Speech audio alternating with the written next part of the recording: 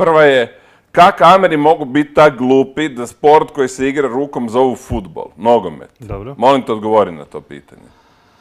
Mislim da smo odgovorili već tisuću puta. Ajdemo tisuću i prvi. Tisuću i prvi Da. put. e, zato što je naziv dobio po fut, odnosno dužini jedne lopte. Ne mora, se- niko ne govori halftime show, sad mora biti pola sata, neko će nastupiti. To, to meni nema smisla u nogometu, jer to onda ideš realno kopirati Super Bowl, što nije najsretnije rješenje, ali dva metra bio u offside sad pomoćni sudac to nije sudio e, i gledaš glavnog suca, da to je bilo u Južnoj Koreji, i gleda na, dž- gleda na ogromnom ekranu, znači cijeli stadion zviždi, on na ogromnom ekranu vidi igrača dva metra u offside i pokazuje na centru.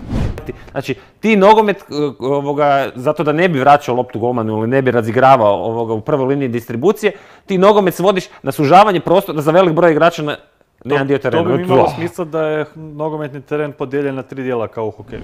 Ovo je najpopularnija, to se ti često govorio, aktivnost kojom se ljudi bave. Najpopularnije, da, apsolutno. Ak, bilo, od bilo aktivnosti, kakav sport, aktivnost. I sad, ako mi nešto pomaknemo sa strane i narušimo tu e, taj balans nogometa takav kakav je, što će se dogoditi? Ali City e, u svim ligama petice kad gledaš, ima e, 250 naprema 210 dodavanjem protivničkoj zadnje trećine. Ali City e, u svim ligama petice kad gledaš, ima e, 250 naprema 210 dodavanjem protivničkoj zadnje trećine. Cijela ideja zapravo i sa Final Fourom koja je sad, e, koja će gotovo sigurno zaživjeti, ta da zapravo ti hoćeš da to bude event, znači da to nije utakmica nego event, koji će gledati i ljudi koji inače ne gledaju nogomet. Jer to je poanta Superbola. Znači Super Bowl gledaju ljudi koji ne gledaju futbol. Evo ti primjer. Dakle, jedno od, ajmo reći, ne, najnepravednijih stvari je što se kazni udarac dosudi tamo na onom kutu, ovoga najbliže korneru, je.